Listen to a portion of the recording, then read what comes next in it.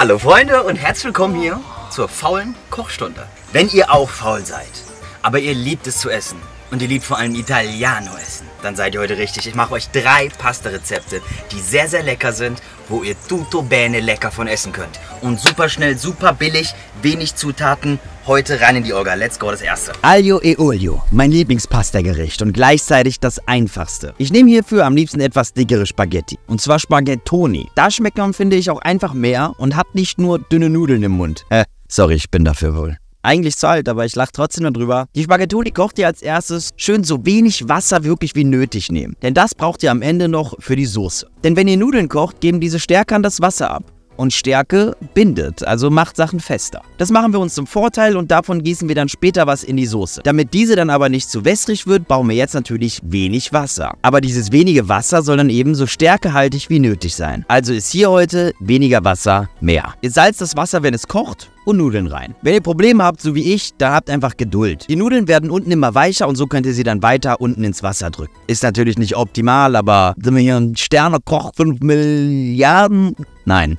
So, Pfanne ist heiß. Reichlich Olivenöl in der Pfanne und auf mittlerer bis niedriger Stufe erhitzen. Ins Öl gebt ihr zwei Knoblauchzehen, die ihr vorher geschält und leicht mit einem Messer zerdrückt habt. Außerdem, wer auf ganz, ganz leichte Schärfe im Hintergrund steht, kann ich nur empfehlen bei dem Gericht, haut eine Chili mit rein, klein geschnitten, die kommt auch eh gleich wieder raus, also gönnt euch richtig mal. Das macht ihr jetzt alles nur, um dem Öl Geschmack zu geben, weil das am Ende auch die Soße wird. Also so zwei, drei Minuten später nehmt ihr die Knobi hier raus und fischt auch die Chili raus.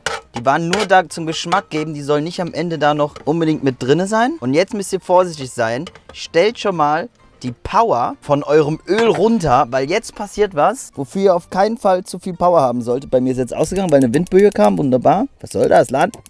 Bleib an, Habibi. Und jetzt kommt the crucial part. Ihr habt hier schön Öl drin. Und jetzt nehmt ihr euer Nudelwasser, welche Nudeln ihr übrigens rausgenommen habt, nach ungefähr sieben Minuten, wenn die so zehn Minuten brauchen, dass sie noch nicht al dente sind. Zack die Bohne. Und jetzt könnt ihr es spritzen, deswegen müsst ihr echt aufpassen. Nudelwasser, das schüttet ihr nicht weg. Ihr nehmt euch davon jetzt erstmal eine Kelle. Und jetzt Achtung.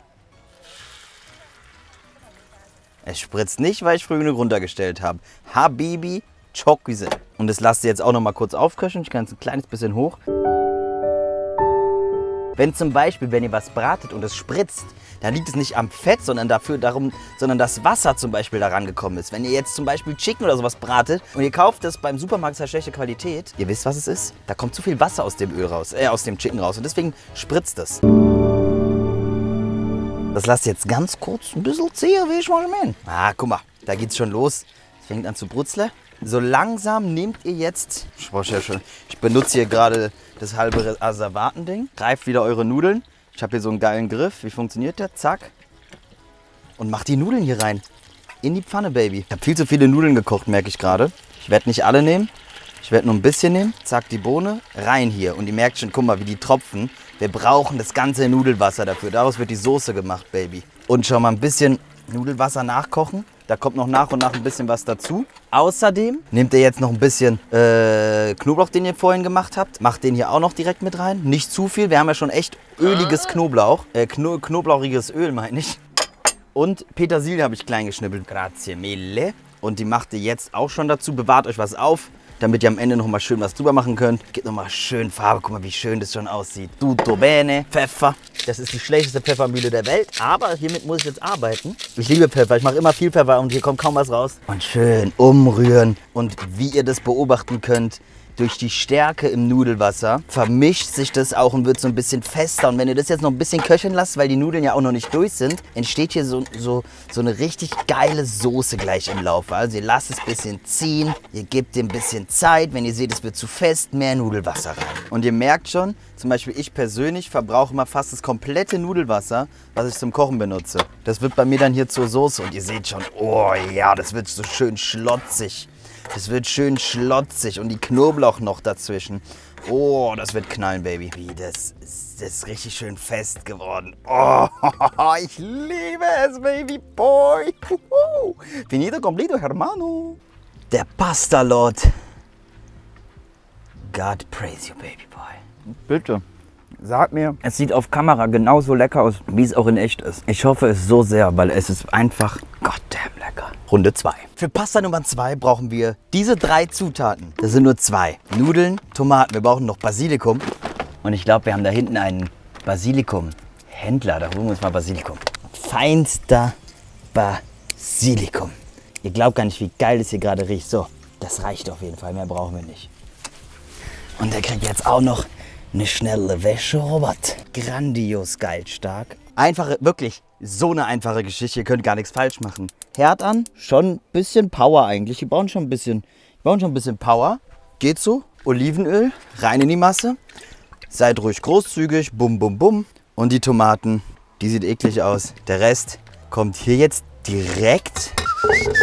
Und die lasst ihr jetzt ziehen. Die müssen richtig weich werden. Schnappt euch zwei bis drei Zehen und schneidet diese in richtig dünne Scheiben. Also ich meine so richtig schön dünn. Ihr wollt ja später nicht auf ein fetten Stück Knoblauch vielleicht rumbeißen. So sehr lieben wir, glaube ich, Knoblauch dann doch nicht, oder? Ach so, den Knoblauch dazu, den wir ganz dünn geschnitten haben, machen wir auch rein, Baby. Und deswegen machen wir auch die Stufe nicht ganz so hoch, sonst brennt der uns natürlich an, Freunde. Dauert jetzt bestimmt so 10, 15 Minuten, weil wir die Stufe nicht so hoch haben wollen, damit nichts anbrennt. Wenn ihr einen Deckel habt, könnt ihr auch einen Deckel drauf machen, dann bleibt die Hitze ein bisschen mehr drin und die werden schneller weich. Ist eigentlich auch äh, ganz, ganz easy. Dann warten wir jetzt erstmal. Das Lustige ist, das ist eigentlich wirklich die Grundlage von den Nudeln.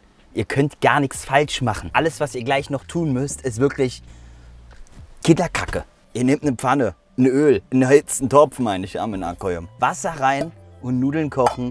Salz rein, easy peasy. Aber wir warten erstmal, weil der Lachs braucht sowieso im Van ein bisschen länger. Eine Minute 37 Sekunden später. Ah, schaut mal, das ist doch wunderbar, Freunde. Wir haben ungefähr 7, 8, 9, 10 Minuten ungefähr gewa gewartet laut meiner neuen Holzkernuhr, Freunde.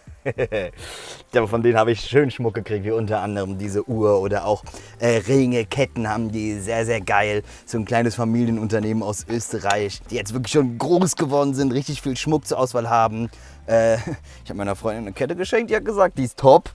Aber die haben auch Herrenschmuck und ich trage jetzt richtig gerne diese Uhr und da kann ich auch unter anderem eine Stoppuhr machen. Also könnt ihr gerne mal abchecken, Freunde. Ist äh, Partner und Sponsor von diesem Video. Mit dem Code Benji15 kriegt ihr über den Link in der Beschreibung 15% Rabatt. Geiler Schmuck, Ringe haben sie am Start, Ketten haben sie am Start, Uhren haben sie am Start. Alles, was das Herz begehrt. Nur können sie leider nicht so gut kochen wie ich, sagte der Angeber. Ich zerdrücke jetzt auf jeden Fall weiter hier die Tomaten und lasse es mal ein bisschen, ich drehe das jetzt ein kleines bisschen hoch, dass es mehr Power gibt und lasse es zu so einem schönen Sud hier wieder werden. Oh, die Nudeln könnte ich jetzt mal aufkochen. Scheiße, habe ich fast vergessen, Malaga. Zack. Salz ins Wasser. Nicht zu wenig. Gönnt euch mal was. Ah! Timer ungefähr. Die hier müssen laut Packung 12 Minuten. Das heißt, wir machen die so 8 Minuten ungefähr. Vamos. In der Zeit hättet ihr wahrscheinlich schon früher die Nudeln reinmachen können, aber ich würde das schon hier ein bisschen köcheln lassen, weil je länger ihr das köcheln lasst, desto mehr Geschmack kriegt ihr auch. Deswegen mache ich jetzt hier jetzt auch bei dem ganzen Wind die Basilikumblätter rein und die ziehen sich jetzt auch schön zusammen, gehen in den Geschmack rein. Pfeffer mache ich auch schon mal hier ran und Salz jetzt auch gleich. Dann kann das nochmal schön mit reinziehen oder alle Gewürze, wo ihr noch Bock mit drauf habt. Was ich sehr, sehr gerne mag, ist äh, Oregano. Ich finde, kann man für alles und jeden benutzen. Wisst ihr, was ihr jetzt macht? Gar nichts. Ihr wartet. Ihr geht vielleicht auf Holzkern in der Beschreibung, aber sonst machen wir einfach so und es geht weiter. Sieben Minuten später, Freunde, zack, die Bohne. Machen wir was, was wir bei jedem Pastagericht machen sollten. Als allererstes holen wir uns Pastawasser und machen das rein in die Soße, weil die bindet das wegen der Stärke, wie ich ja schon jetzt mehrfach erklärt habe. Sag mal, ist hier das Feuer ausgegangen? Das Feuer ist hier ausgegangen! Alarm! Alarm! Und dann nehmt ihr jetzt so langsam eure Nudeln dazu und macht die hier auch mit rein. Weil die sind ja noch nicht durch. Wir haben die ja noch nicht al dente gekocht. Und die köcheln jetzt damit. Ein paar Minuten und wir sind schon wieder durch. Wirklich. Und das, das ist ja wirklich. Wer das verkackt, ist dumm. Du bist dumm. Und ganz ehrlich, wenn ihr das nicht machen wollt, wenn ihr keine frischen Tomaten habt, dann nimmt einfach so eine Kackdosen. Das, das ist so geil. Hier, gute Firma, keine Werbung, Mutti. Schmeckt super. Und finito completo. Herd wird ausgemacht. Das Ding ist noch schön warm, richtig wunderschön. Und natürlich, Freunde, wenn ihr jetzt denkt, für mich war es das, das war es absolut gar nicht. Und jetzt, wenn es noch warm ist, Parmigiano, mi amore, richtig schön viel. Hier ist auch schön viel Soße, das heißt, es wird nicht ganz so fest, wenn ich noch ein bisschen Parmigiano drauf mache, mi amore. Regel Nummer eins, zu viel Parmesan gibt es. Ja, okay, gibt es schon, aber hier bei dem Gericht gibt es das absolut nicht, meine Freunde. Irgendwelche Fragen? Mi amore? Guckt euch das an. Ist das nicht lecker oder ist das nicht lecker? Oh, es ist heiß. Alleine wie wir hier schön... Was, guckt euch einfach nur diesen Löffel an.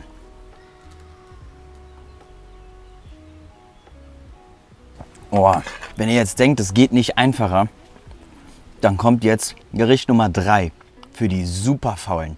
Ihr müsst nicht mal was schneiden. Und es ist zwar nicht ganz so gesund, weil das ist ja wirklich. Aber das wird auch grandios lecker. Und wir machen uns nicht Gnocchi. Doch machen uns Gnocchi. So, Freunde, neuer Tag, neues Glück. Wir haben es jetzt schon wieder kurz vor neun. Die Golden Hour ist so gut wie vorbei.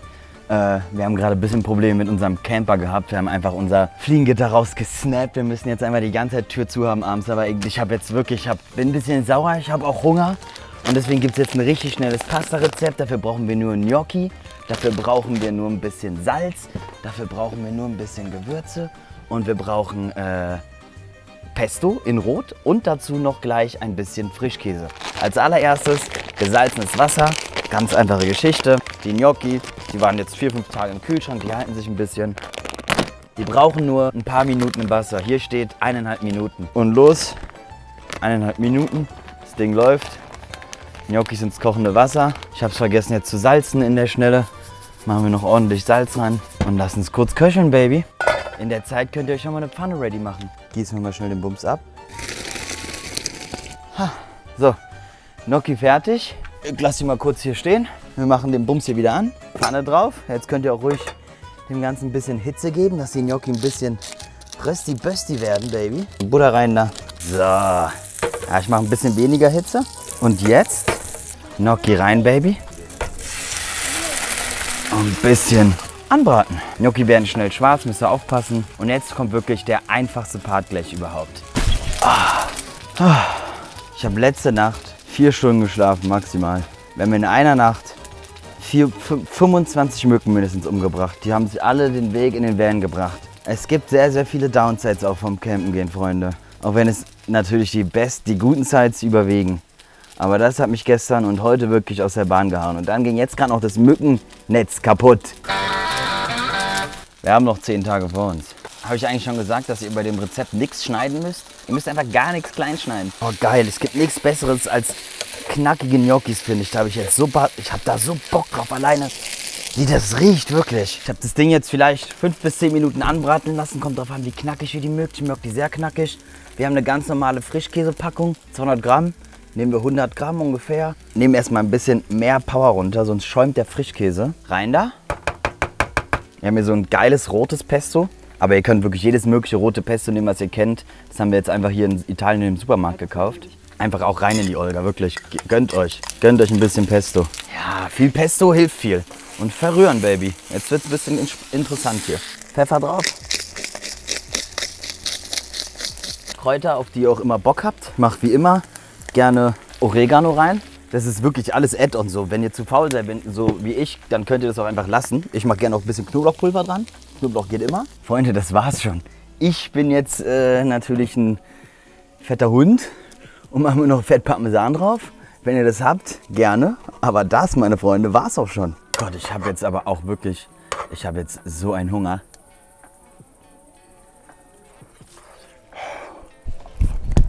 Die müsst ihr auf jeden Fall ein bisschen länger abkühlen lassen.